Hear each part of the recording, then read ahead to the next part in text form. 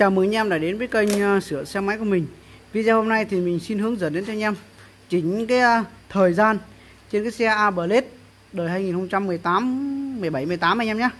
Thì ở đây tôi, tôi sẽ ờ, cái nút này là nút tôi sẽ chuyển về cái cái giờ của nó Thời gian đấy anh em ạ. Thì hiện tại bây giờ thì uh, mới tầm khoảng độ 11 giờ uh, 15 11 giờ 15 thôi.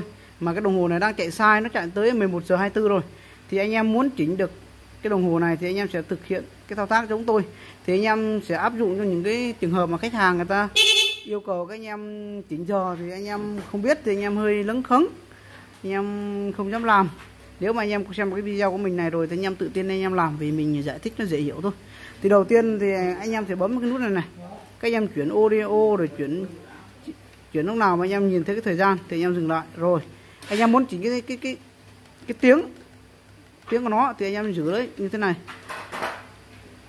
Đó, nó nháy nháy như thế này thôi. Thì anh em sẽ bấm từng cái một, thì nó sẽ chuyển về số 11 giờ. Chẳng hạn rồi mình lấy cho anh em thích đặt mấy giờ thì anh em dừng lại. Bây giờ là 11 giờ thì tôi mình để số 11 này. Sao anh em muốn chuyển về, anh em chỉnh cái cái phút thì anh em phải giữ lấy. Lại nháy bên phút. Đấy, bây giờ là 10 15 thì anh em sẽ bấm. Bấm khi nào nó chạy về đến 15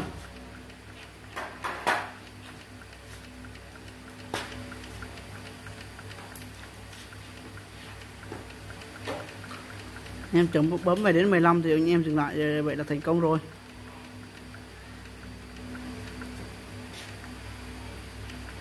Đấy 15 cho anh em lại nhí lấy. Đấy ok. Như thế này là ok rồi. Như thế này là xong. Rất đơn giản. Anh em tắt chìa khóa đi. Và anh em bật lên và anh em kiểm tra lại. Rồi anh em chuyển này. Đấy 11 giờ 15 vậy, vậy thôi cái video hôm nay thì mình chia sẻ với anh em nó đơn giản như vậy thôi nó cũng một số rất chi là cần thiết. Ví dụ như là anh em chỉnh cho khách hàng hoặc khách hàng tự chỉnh lấy. Đấy, dễ hiểu vậy thôi. À, xin chào anh em. Anh em thấy hay thì bấm like và đăng ký kênh ủng hộ mình lần sau mình ra những video hay hơn. Xin chào anh em. Chúc anh em thành công.